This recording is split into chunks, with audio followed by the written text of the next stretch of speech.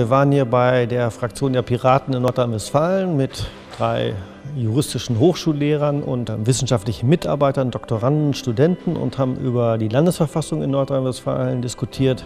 Und wir haben doch ziemlich einheitlich festgestellt, dass die an verschiedenen Punkten reformbedürftig ist, aber auch reformfähig wäre. Also es wäre was zu tun, um diese Verfassung auf einen modernen Stand zu bringen. Wir finden, oder ich finde, genau, glaube ich, wie meine Kolleginnen und Kollegen, dass es ein Format ist, das auf jeden Fall fortgesetzt werden sollte. Und es hat sich auch gezeigt, dass bei den Themen, die wir bearbeitet haben, äh, mit Blick auf die Frage einer gehaltvollen Verfassungsreform durchaus Ergebnisse generiert werden worden sind, von denen wir hoffen, dass die Piraten sie in die weitere Diskussion hineintragen und von der wir hoffen, dass andere Parteien die Ideen aufgreifen, die wir formuliert haben. Die Politikverdrossenheit von jungen Leuten konnte ich nicht entdecken, wenn man dem Nachwuchs Raum gibt und äh, deutlich macht, wir sind daran interessiert, was ihr zu sagen habt, dann haben sie auch etwas zu sagen und mein Eindruck war, die Piraten werden diese Gedanken aufgreifen, in den politischen Diskurs einbringen und sich dort hoffentlich Gehör verschaffen.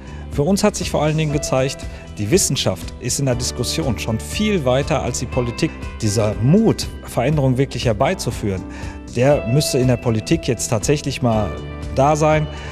Denn es ist durchaus so, dass Lösungen vorhanden sind. Wir müssen nur mutig sein und sie umsetzen.